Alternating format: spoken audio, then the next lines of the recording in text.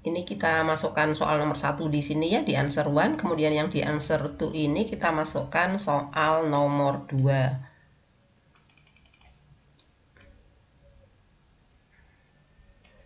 Nih, ayu bla bla bla a letter now.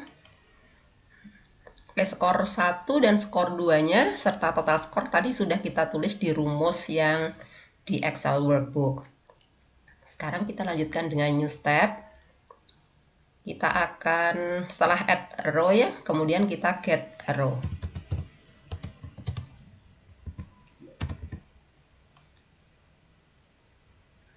kita get row di Excel online tadi.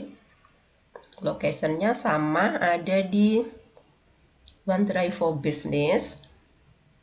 Dokumen library-nya di OneDrive. Kemudian filenya.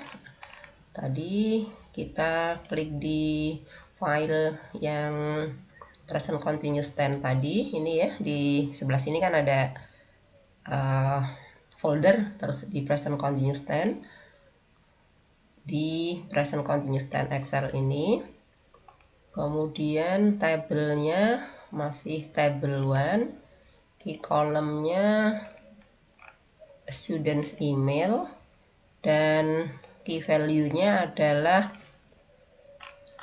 email responders. Jadi responders email yang nomor 2 ini.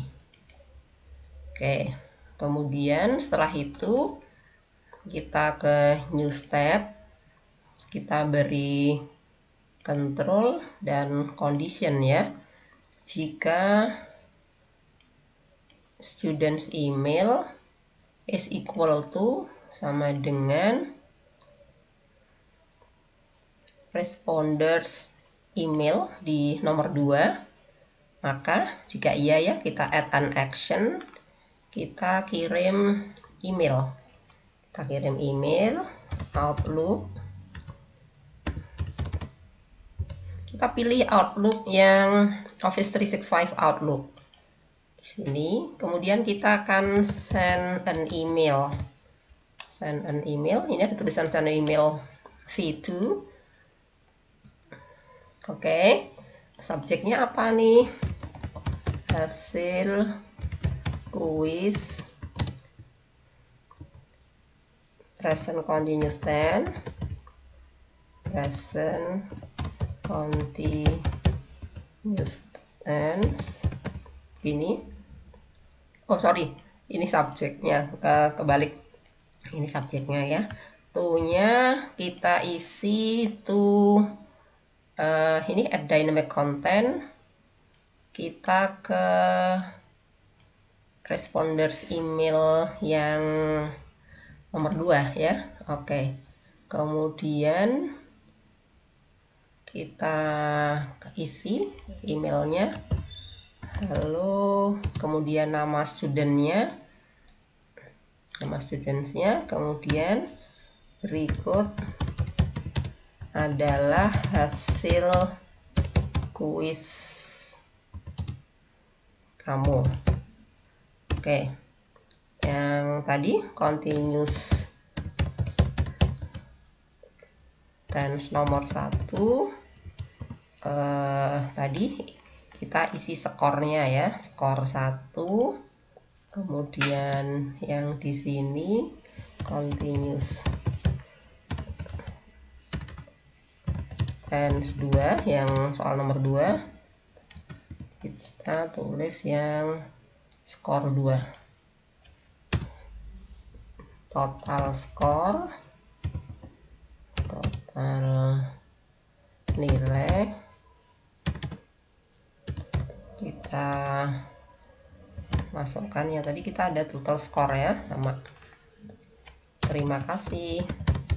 Terima kasih your teacher kata Oke. Kemudian kita anggap ini sudah selesai ya, kita sudah selesai. Kemudian kita harus save, kita simpan. Nah, your flow is ready to go. We recommend you test it. Jadi kita diminta untuk mengujinya. Apakah flow kita bisa bekerja atau tidak. Kita tes. Kita tes secara manual. Kita klik manually. Klik tes.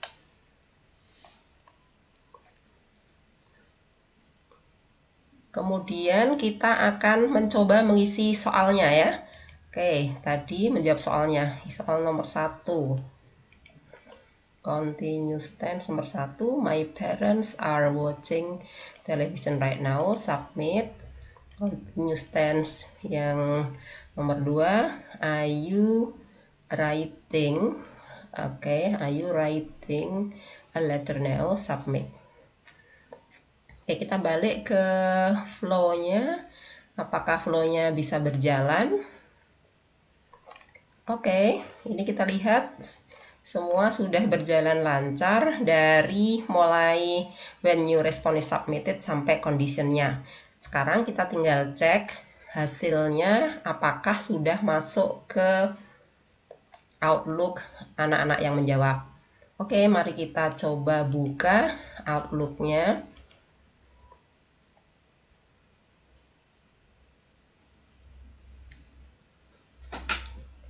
Hasil pre kuis present tense ini masuk ke email saya. Saya tadi mengisikan.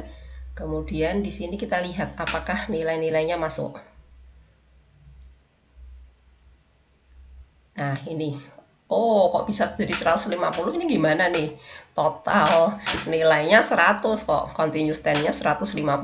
Ini pasti ada kesalahan. Tapi ini sudah masuk ya, kita akan lihat lagi apa yang terjadi di uh, kesalahan yang ada. Oke.